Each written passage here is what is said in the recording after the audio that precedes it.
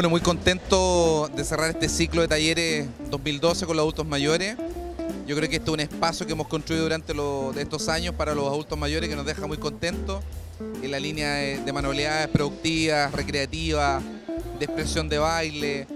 Yo creo que es un espacio necesario para la dignidad de nuestros adultos mayores.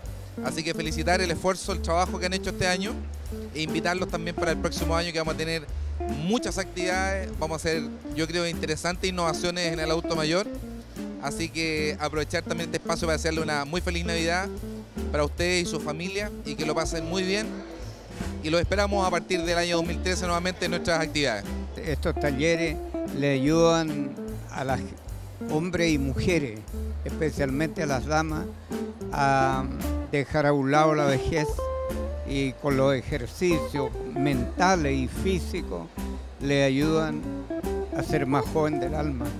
Bueno, este es el cierre de talleres, la culminación del trabajo de los adultos mayores que han hecho durante todo el año su trabajo. Para ellos es muy importante esta, este momento porque ellos invitan a sus nietos, a sus hijos y se sienten orgullosos, pueden mostrar todo lo que han aprendido durante el año. ¿Mm? E, esta es una instancia en la cual lo queremos celebrar semestralmente porque cada uno de los talleres hace su mejor esfuerzo por mostrar eh, las distintas manualidades o las distintas eh, actividades en las cuales han participado durante todo un año.